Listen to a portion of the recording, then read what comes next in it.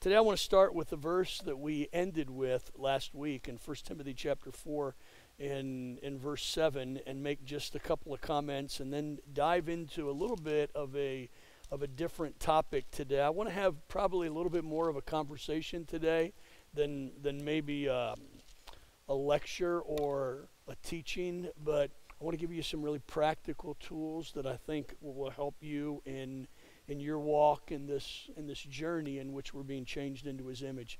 So in 1 Timothy chapter 4 and verse 7, Paul says, uh, I'll read the whole verse even though we're just looking at the last phrase. Paul says, have nothing to do with irreverent, silly myths. Rather, train yourself to godliness.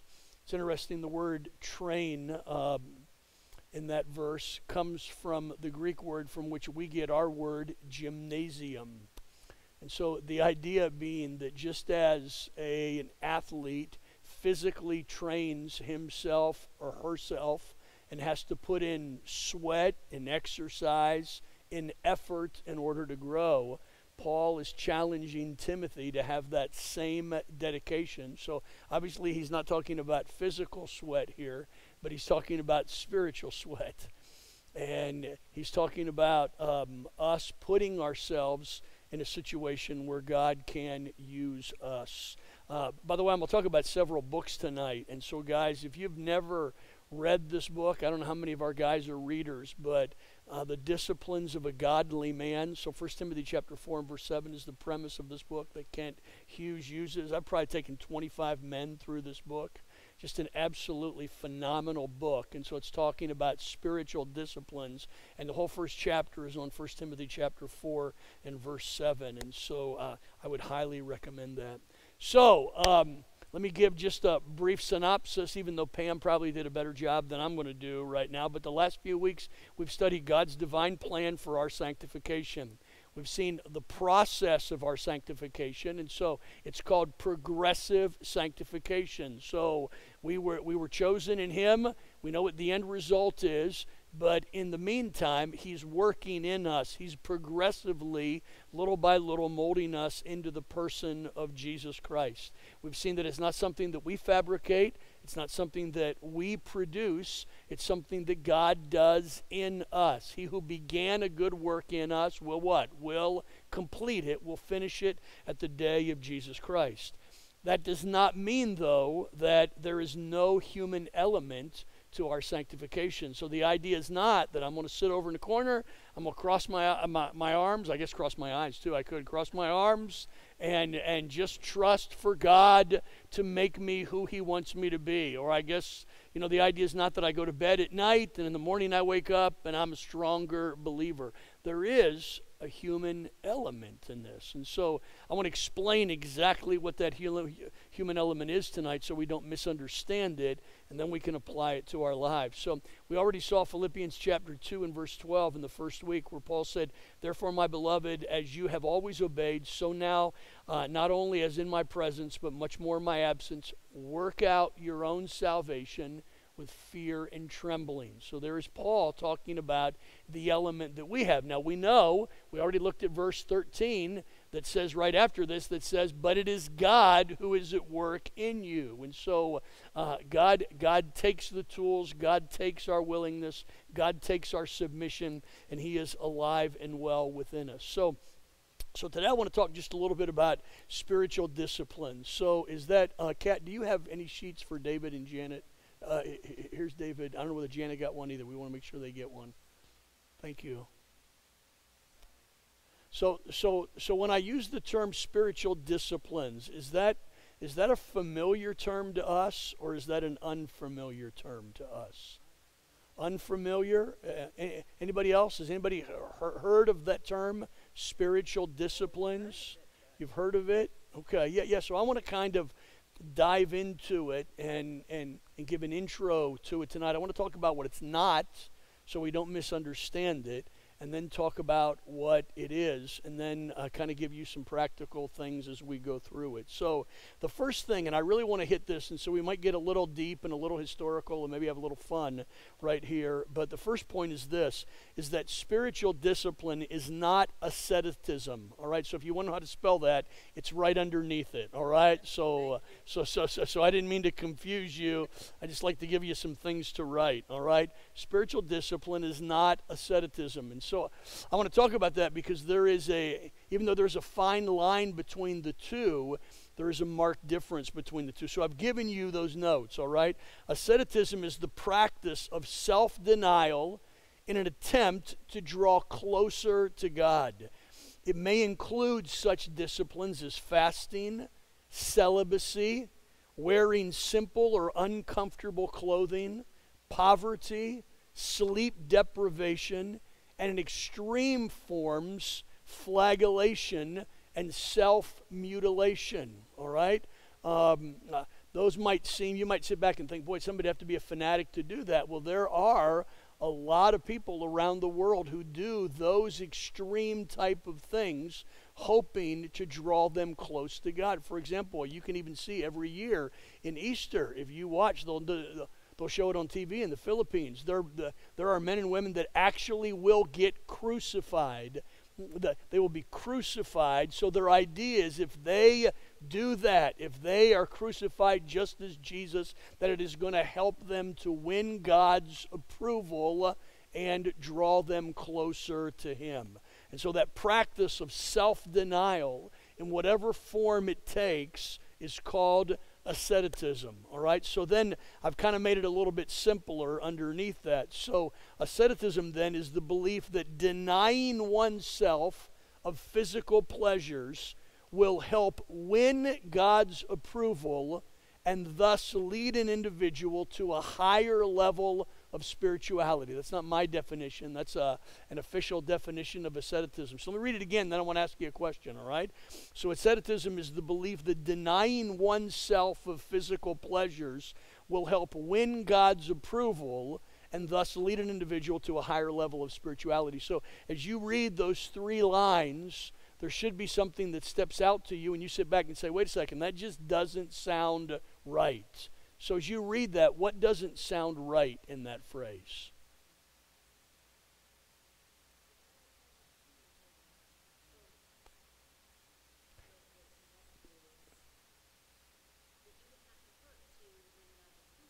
Okay.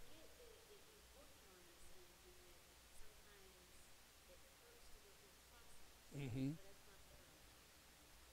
Right, yeah, self inflicted. Self inflicted pain. Okay? Somebody else, as you read that, is there something that sits out? You should say, well, boy, as we've gone through our study, there's something that just doesn't sound right there. Anybody?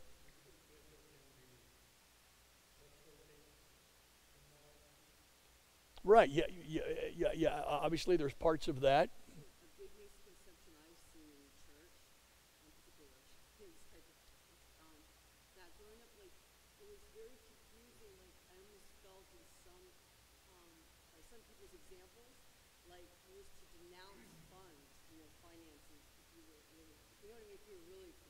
You haven't taken that class at HCC yet where you're supposed to denounce all of your funds and sign your bank account over to us? You haven't taken that class yet. Huh? No, you're right. So, so, so the one part that I, I wanted to emphasize and I wanted you to catch is the is what's underlined. All right, where it says that that they have this belief that by doing certain things, they win God's approval. All right, so uh, let me remind you that everything that we do, justification and sanctification, is what? It's a work of grace. And there's absolutely nothing that we can do to win God's approval. All right? So, uh, so, so I mean, so, so Isaiah says it this way. Remember, all of our righteousness, all of our righteous deeds is just like what? Just like filthy rags in God's eyes.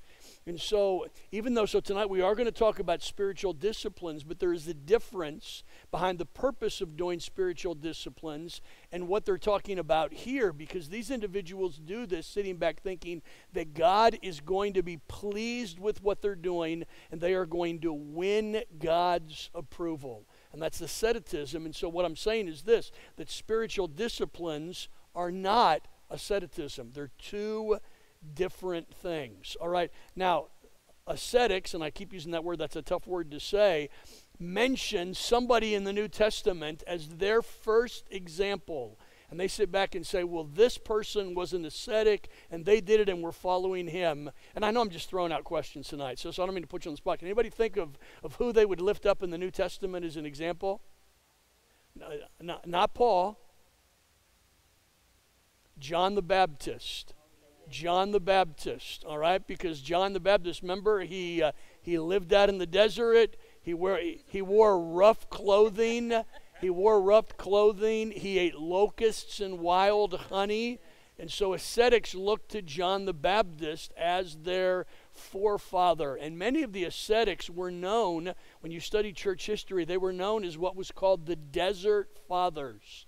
And the reason they were known for that is that they literally went out and lived in the desert. And their thinking was that they were going to make their lifestyle as difficult as they possibly could, thinking that making their life difficult would win God's approval. Let me just give you two examples. And so, if you're interested in that, you can Google the Desert Fathers or ascetics, and you can find all type of examples. Let me give you two of them. The very first one, and the most famous, was a gentleman by the name of Anthony the Great. Anthony the Great. So one day, Anthony uh, was teaching on Jesus saying that uh, the, that's found in Matthew 19 that says, If you want to be perfect, go and sell what you have, give it to the poor, and you will have treasures in heaven. And so, as he was teaching that, in his mind, a light came on, and he literally finished that message, went out and sold everything that he had, gave his proceeds to the poor, left the city behind, and lived in the desert for the rest of his life. All right?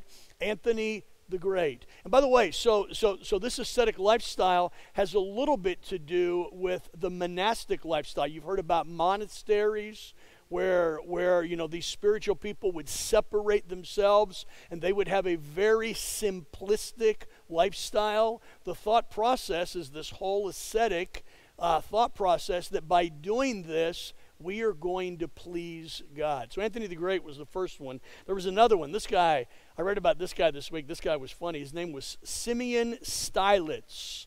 So Simeon Stylites spent the last 36 years of his life atop a 50 foot pole in the air. And so his, his thought process was that, that if he wanted to be spiritual, he was going to have to separate himself completely from everyone else. And so he literally constructed a 50 foot pole in the air, trying to separate himself from all of the comforts of life and trying to separate himself from people uh, as well. Aren't you glad that God doesn't ask us to do that? Aren't you glad that we don't have like in our new members class? Okay, here's the goal. We're gonna we have a, we have these 50 foot poles outside, and here's what we want you to do. We want you to expose yourself to the elements, and we want you to live as badly as you possibly can. All right, so you can Google all that and study all of that. But here's the truth, and here's what I want you to catch. And I want us to look at a couple of verses because the Apostle Paul actually deals with this concept in his epistles. But the truth is this human effort cannot produce spiritual change. All right? Catch that.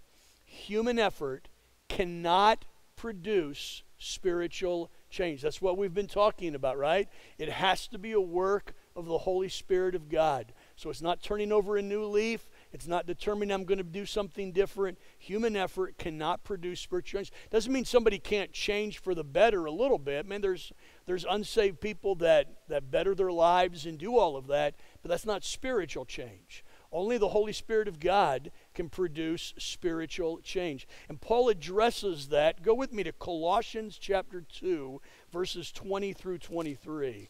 This is a really interesting. I spent quite a bit of time in these three verses, or four verses, I guess, the last couple of days. Colossians chapter 2, verses 20 through 23.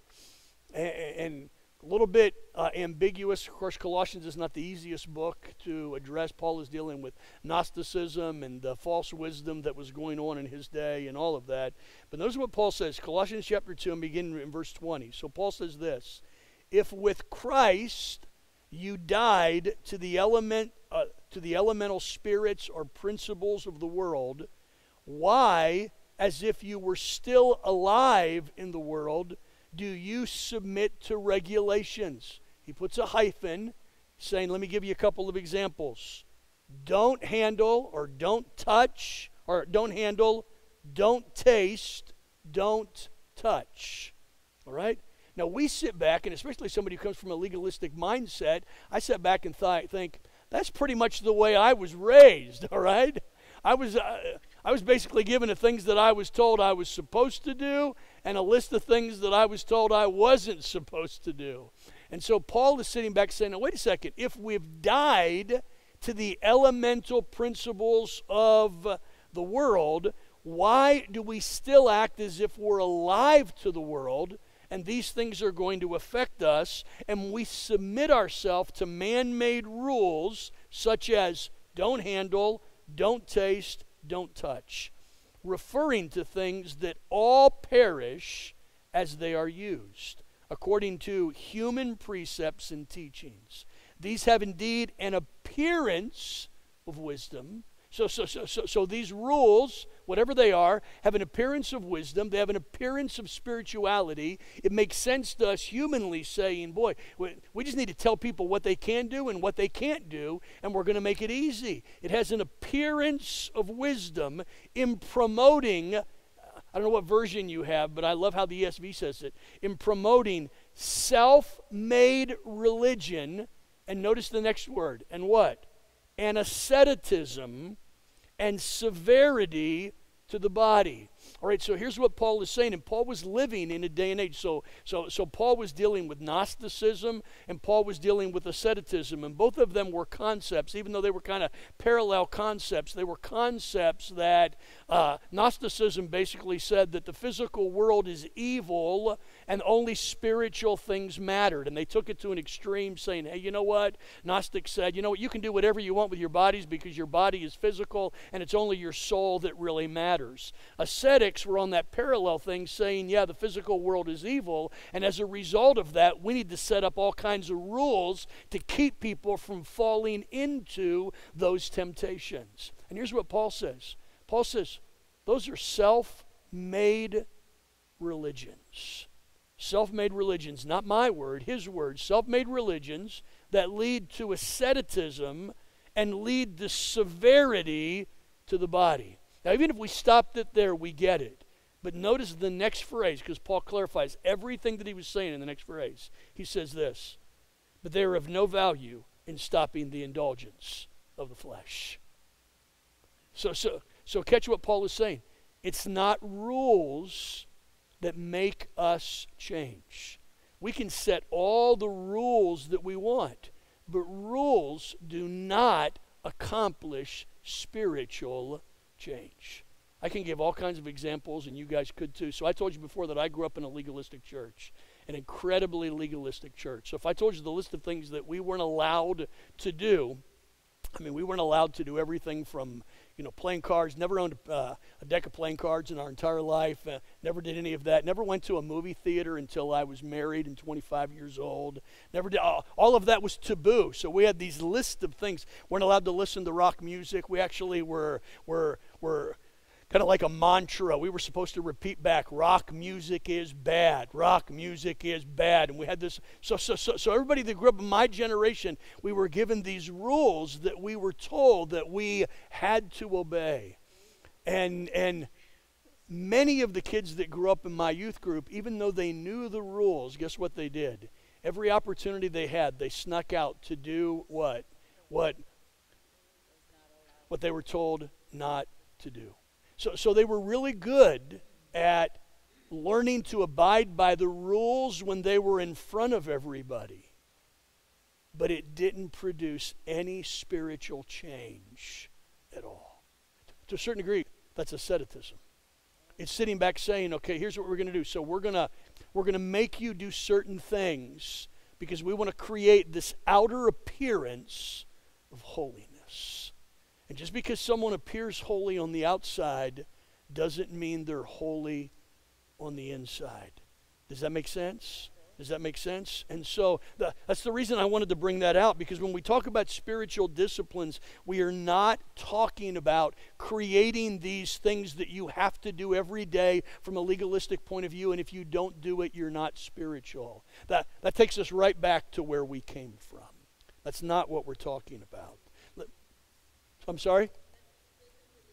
Exactly. What, what, what, in, and let me just go through. So let me read a couple of things that I put in my notes. So Paul lists some of the outward forms that people use to control sin touch not, taste not, handle not.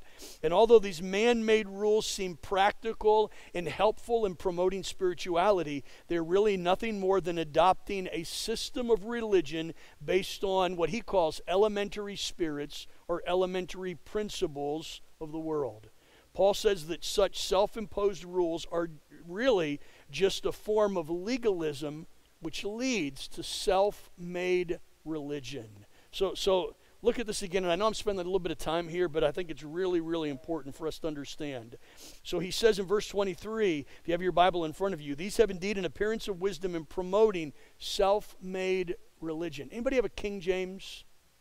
Anybody have a King James? Could somebody read verse 23 from a King James Bible if you have it? What does it say? What's, yeah, verse 23. Mm-hmm.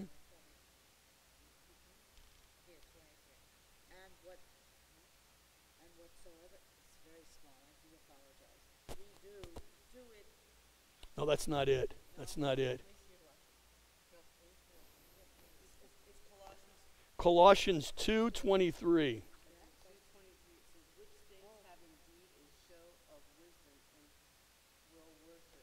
Okay, stop right there. Which things have a show of wisdom in, here's what it uses will worship.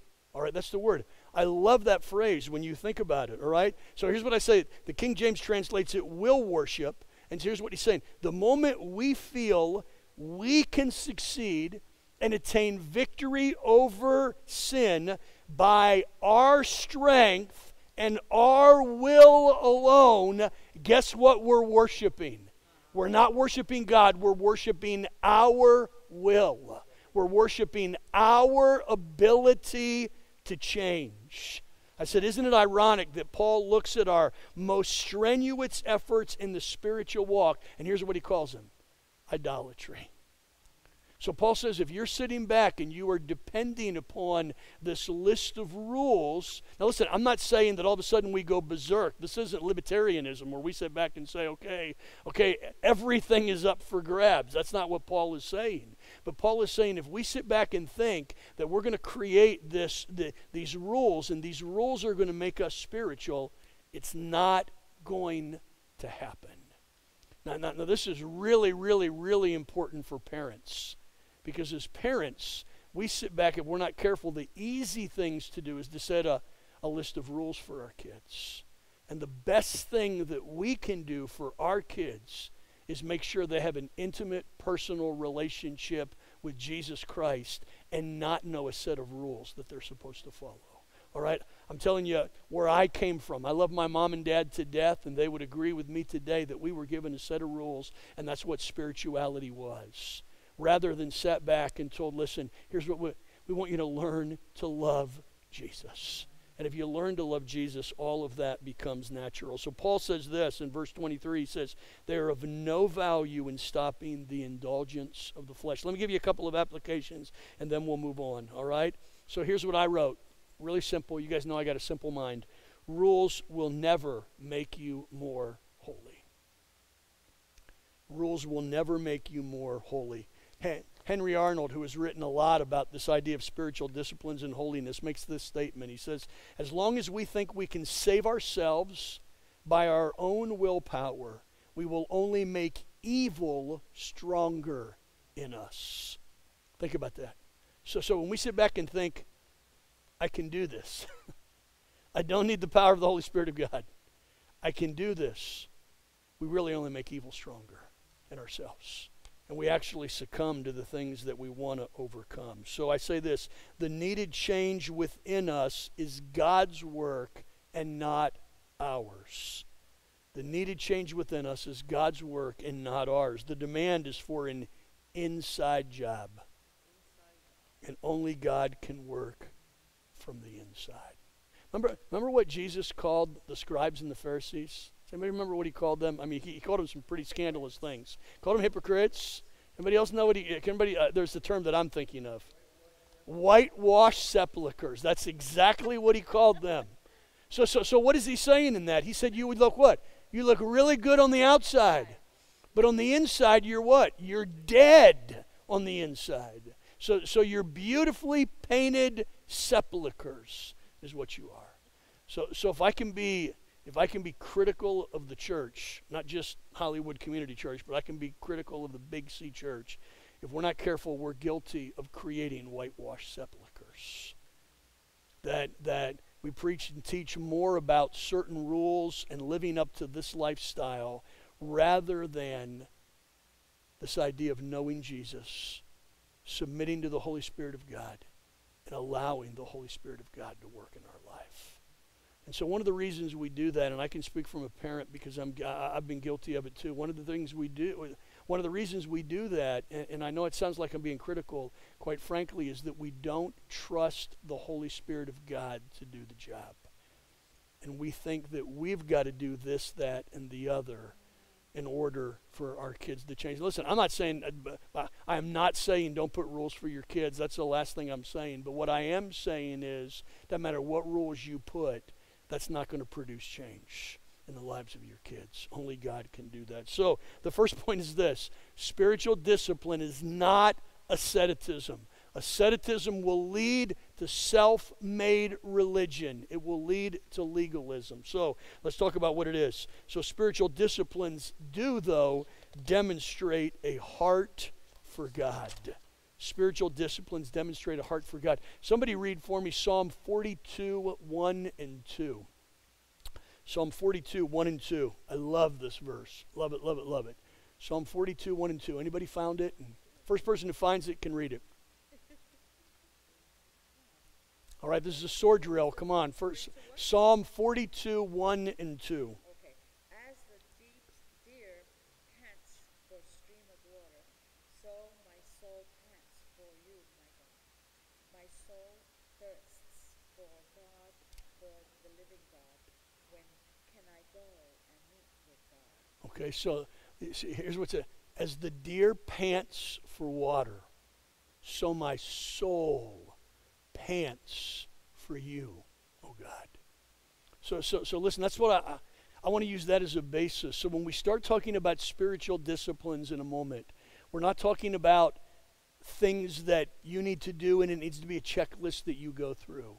We're talking about this, this passion, this desire for God, this desire for holiness that is going to drive you to spend time with Him. So I wrote the primary requirement to practice the spiritual disciplines is a longing after God.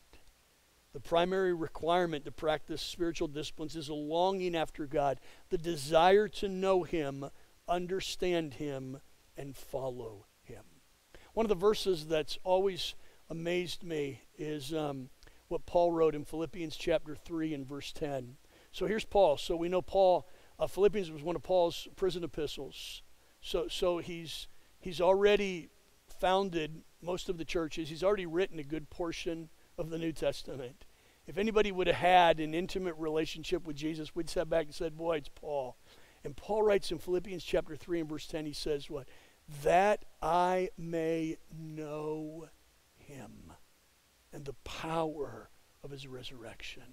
I sit back and I and I read that and and I can sense this longing in Paul's life, this desire to know God as intimately and as, as, as comprehensively and as purposefully and personally as he possibly can. If I could describe spiritual disciplines, that's what it is. It's this desire, this thirst for God that drives us to put these disciplines in practice in our life for the purpose of knowing Him more. Does that make sense? And so spiritual disciplines demonstrate a heart for God. The, the, the, third thing, and I'm kind of bouncing through some of this, but the third thing is spiritual disciplines prepare the heart for God to work. Spiritual disciplines prepare the heart for God to work. So, so let me read Galatians chapter 6 and verse 8. Galatians 6 8. Paul says this He said, For the one who sows to his own flesh will from the flesh reap corruption. But the one who sows to the Spirit will from the Spirit reap eternal life. Okay, I know, probably not a single farmer here. Do we at least have a gardener here? Anybody a gardener? So, so, so you like to pretend, all right? So, so you at least don't kill plants, right? All right. So before, in, in theory, before you plant a plant, I guess that's the way, the best way you'd say it. In theory, before you plant a plant, what do you do? You prepare the soil. That, that, that that's exactly right. And so you, you don't grow the plants, the soil grows the plants. Actually, nature and God grows the grows the plants. All right, but but you prepare the soil. So so so here's what I want you to think. I want you to think of spiritual disciplines as soil preparation, preparing the soil of our soul for God to work and to grow something in our lives. Here's, a, here's another great book. I would highly recommend this. I've probably read this five times. It's by Richard Foster. It's a classic on spiritual disciplines called The Celebration of Discipline. I would highly, highly, highly recommend this book. But, anyways, he makes this statement talking about Romans chapter 6, the verses that I just read. He says, Paul's analogy of the soil there is instructive.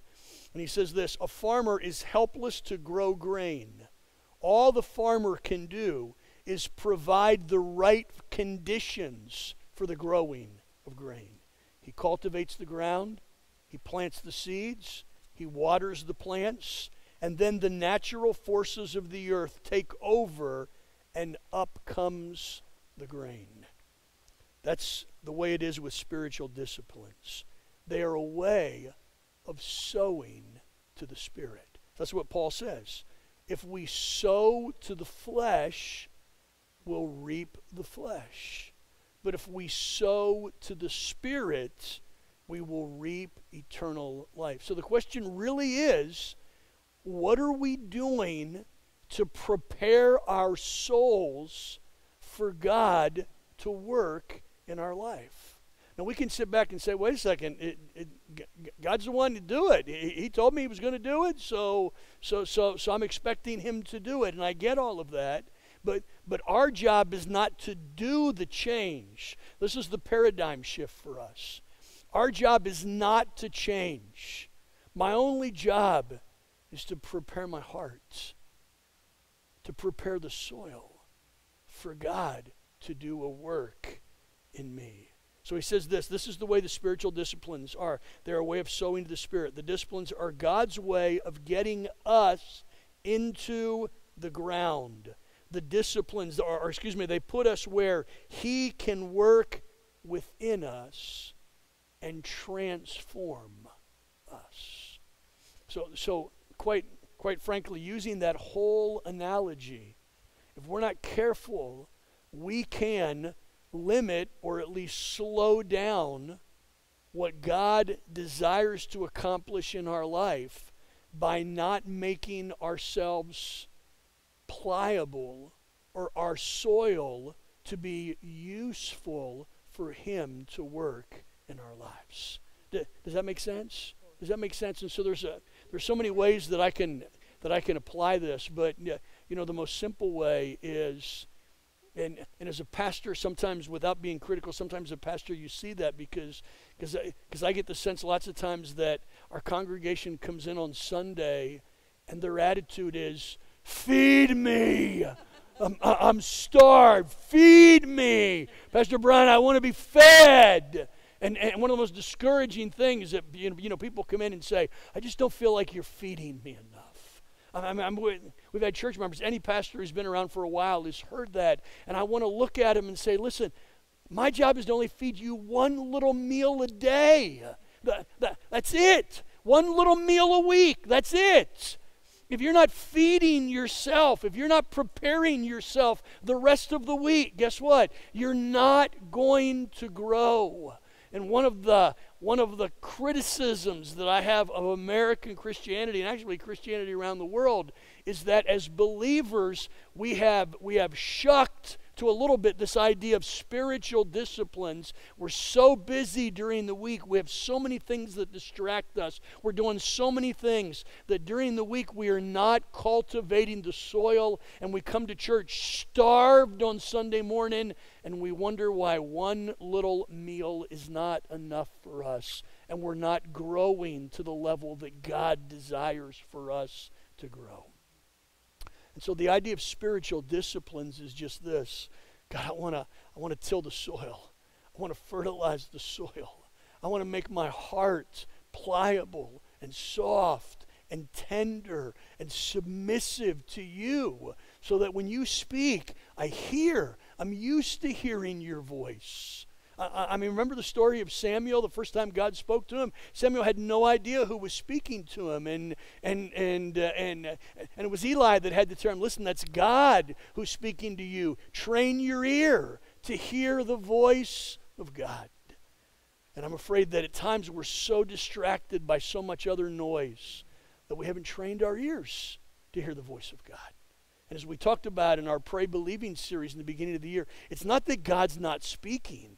God's not speaking, or God is speaking, I'm sorry, He is speaking, but there's so much noise around us that we just can't hear Him.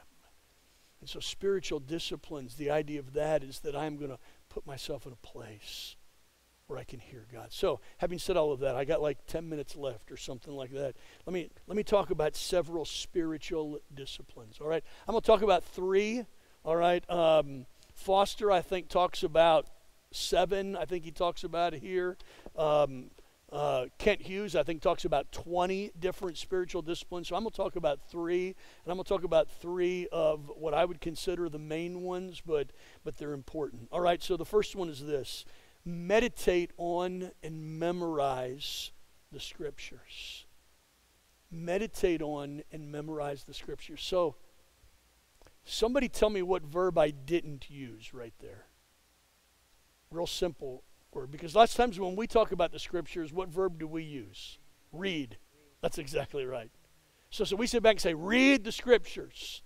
And if we're not careful, it's easy for us to grab our Bible, read through a chapter, and it make no change in our life. And so the challenge, the discipline is not just reading the scriptures, but the challenge is meditating on the scriptures and memorizing the scriptures. Let, let me read a couple of verses, and you have them there. And for time's sake, we won't take the time to look at them. Psalm chapter 1 and verse 2, as David talks about the blessed man, it says, But his delight is in the law of the Lord, and in his law he meditates day and night. David said in Psalm 63, 6 through 8, When I remember you upon my bed and meditate on you, in the watches of the night, for you have been my help, and in the shadow of your wings I will sing for joy. My soul clings to you, your right hand upholds me. Speaking of memorization, David said in Psalm 119:9, How can a young man keep his way pure? By guarding it with your word. And then Paul said in Romans 12, Don't be conformed to this world, but be transformed how? By the renewing of your mind. So we use this term meditation, there, there are two Hebrew words that are translated meditation in the Old Testament. We won't get into the word because I can't pronounce them and it wouldn't make any difference to you anyways. But those, but those two words are used 58 times in the Old Testament. Here's what they mean. They mean listening to God's word, reflecting on God's works, rehearsing God's deeds, ruminating on God's law. Ruminate isn't a verb that we use very, very often, but it's the word from which farmers get the word chew the cud. To ruminate, to chew on something over and over and over and over again. So let me just, so let's synthesize that just a little bit. Christian meditation, then, is the ability to hear God's voice, and obey his word. That sounds a little simplistic and legalistic. What I mean by that, hear God's voice, understand what he's saying, and put it in practice in our lives. So we're actually going to do an exercise here in just a second, okay? All right? Um, unfortunately, though, when we think of meditation, that word has been stolen from us, all right? When we think of meditation, what do we think of? Eastern meditation, right? We think of Eastern meditation because they've kind of stolen that. But, but, but they're two completely different things. And I want you to catch this Eastern meditation is an attempt to empty the mind. And so, so that's that whole thing about Eastern meditation and yoga and everything. So they tell you just sit there and what? Empty your mind. Take everything out of your mind. When the Bible talks about meditation, that's not what he's talking about. He's not talking about emptying your mind. He's talking about what? Filling your mind. It, it, it, it's the opposite of what we think of meditation. Meditation is not emptying my mind of all of these things, it's saying, I want to fill my mind with God's Word and think on it and dwell on it. The, med- the meditation of Scripture focuses on two things it focuses on internalizing and personalizing the passage of Scripture. I think sometimes if we're not careful, and I think as pastors we're good about this, or we're, we're, we're bad at this, we do this all the time, we're good at making you do this, is, is I think we try to get too deep, and we use, it, you know, we talk about, you know, the exegesis of the passage, and we talk about all of that, but, but, but, but the idea of reading Scripture is just sitting back and simply saying, what is it that the Holy Spirit of God is saying to me? One of my heroes, Christian heroes, is Dietrich Bonhoeffer. And Dietrich Bonhoeffer said this He said, Just as you do not analyze the words of someone you love, but you accept them as they are said to you, accept the word of Scripture and ponder it in your heart.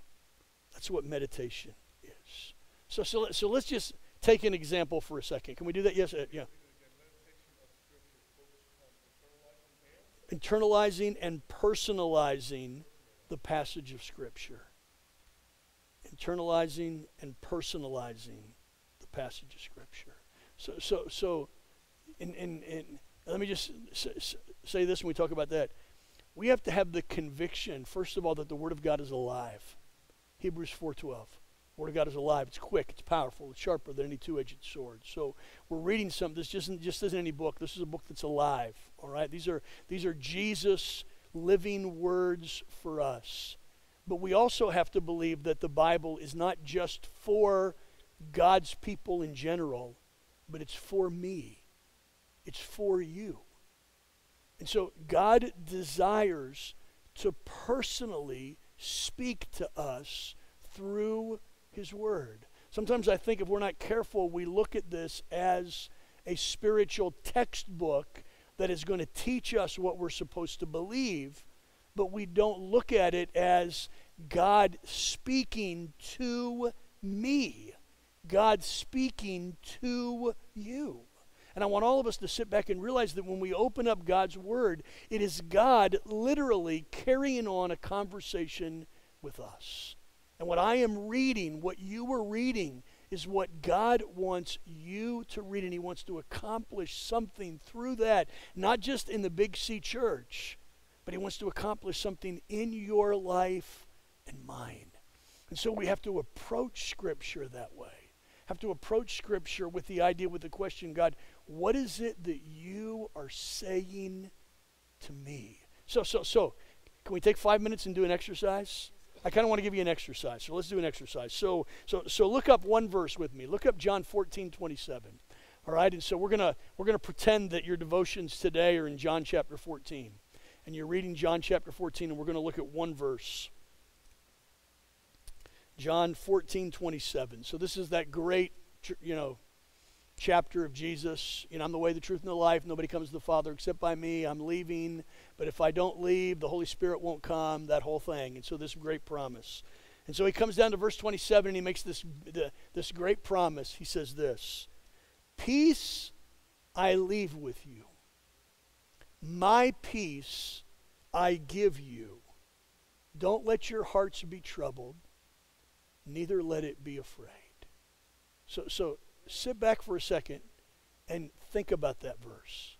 Jesus says, Peace I leave with you, my peace I give to you.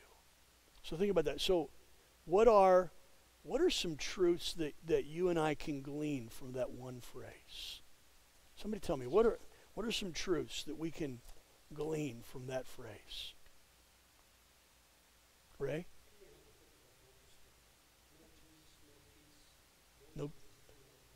Exactly. Yeah.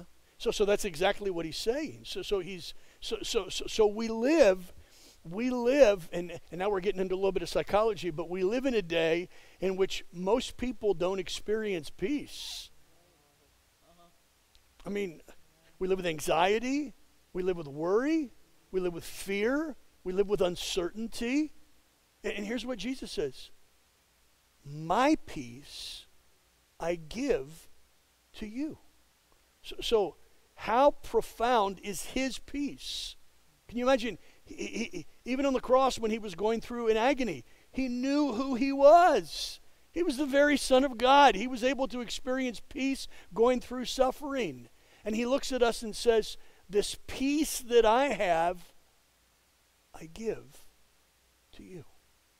So, so, so go, Joe, go, go, go, go, go. What's that? I'm sorry? Absolutely. Yeah. I, I, I, mean, why is, why is alcoholism a problem? Why is divorce and remarriage a problem? Why is whatever a problem? Because people are searching for peace in, in every crevice and corner, and Jesus is saying, I want to give it to you. My peace I give. So, so, so every single day, I can take that and, and, and obviously the word peace there is the Hebrew word shalom, which means it's no it's not just freedom from fear. It, it, it, it's this it's this totally encompassing word right there. exactly. And so I can every morning sit back by faith and say, Man, God, today's a pretty rough day. Claim your peace. And I'm not, I'm not egotistically claiming something that's not mine. I'm not asking for something that you haven't promised to give me. You told me, my peace I give to you.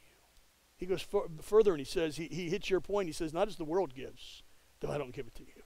I give you a peace that's completely different. So, so my point is this. Sometimes uh, I think we get wrapped up in the forest and we fail to see the trees or the leaves. Because, because we're not careful, we've, we're, we're so, uh, we're so goal driven that I've got to finish this chapter. I've got to get through this book. I got to read the Bible in a year. I got to do all of these things. And we're so contem- we're so focused on the forest that we never sit back and allow one truth, one nugget to change our lives and to sit back and think about it and meditate on it and talk about what it means for me. Here, here's the truth that I believe with all of my heart. So, and this is profound. Think about this. If God's word is alive, and it is, all right? He tells us that. Hebrews, I just quoted the verse, Hebrews chapter 12. It's alive. It's alive.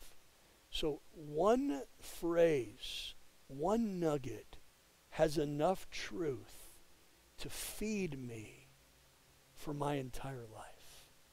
So imagine, as it were, that we lose freedoms in our country, we're sent to prison for our faith, our Bibles are confiscated, and the only part of Scripture that we know is what we have in our mind, which is a whole different point for memorization that I want to talk about in just a second. But I believe with all of my heart that there is enough spiritual meat in one phrase to sustain me for weeks and months on end. Our problem is we read it, we don't meditate on it. And so David said in Psalm chapter 1 no, the blessed man is the one who meditates on God's word.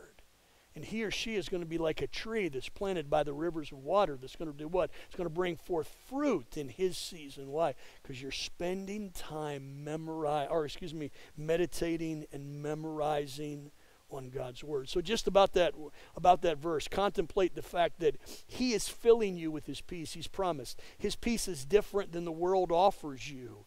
And so I can sit back and say, God, what are my fears today? I want to roll those fears over on you, and I want to accept your peace and accept by faith the peace that He has offered you. That's one simple verse. Meditate. And then memorize. Memorization allows you to have God's Word in your heart 24 7. I wish I was good. Anybody here practice memorization now? Anybody try? Do you, do you? God bless you. I'm, uh, I, I don't think my brain works that way anymore. I, I, I, cannot memorize now like I could when I was a kid. You find is it easier or harder? A lot harder for you, Ray? Or oh, just over and over and over and over again. I'm telling you what though. Have your kids memorize scripture when they're young. My mom was uh, uh in all of her legalism. Well, and and my mom and dad will be here. I don't want you to think badly of them. They're godly, godly, godly people. They were just in a system, uh, a system that we were all raised up in. But my mom, my, my mom had me memorize scripture when I was a kid, and it, I know that scripture. James chapter 1, I can quote James, the whole James chapter 1. James, the servant of God and Lord Jesus Christ, the 12 tribes that were scattered abroad, greeting. My brother, encountered all joy when you fall into different temptations, knowing the trying of your faith. Listen, I, am so thankful because you know where that is? That's right here now. And the more you memorize Scripture, the more it's available for you 24 7. Listen, what's a discipline? Meditation, memorization. What are you doing? You're preparing your soul for God to work in you. Let me give you two more. I'm just going to mention this one. The second one is prayer. Of all the spiritual disciplines, prayer is the most essential, I believe, because it ushers us into the very presence of God. Um, just a couple. Oh man, my time's up. Um, man, I'm sorry. So, so let me just get through this. Uh, you have the rest because I didn't think I was going to get through the last one. But but remember that real prayer is something that we learn. All right. Remember the disciples said what? Teach us to pray.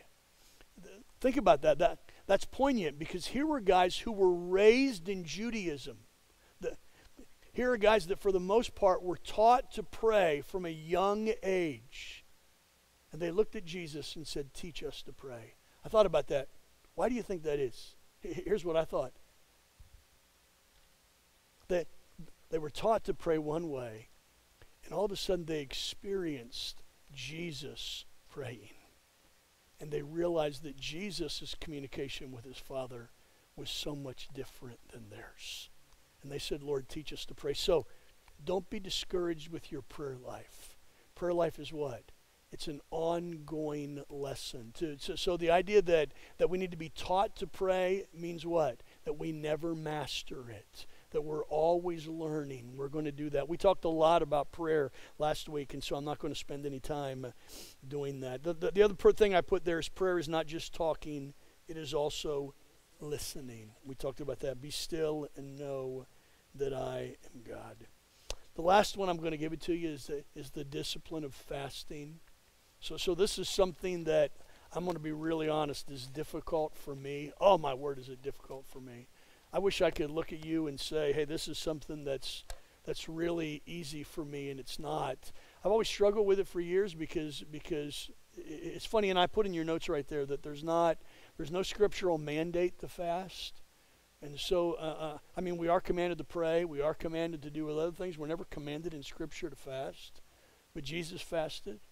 And uh, I think it's a discipline that that in our minds, at the very least in our minds, it reminds us of what is most important. So, listen, we did a lot of prep work here and didn't do a lot about disciplines, but there's all kinds of disciplines. There's the discipline of simplicity.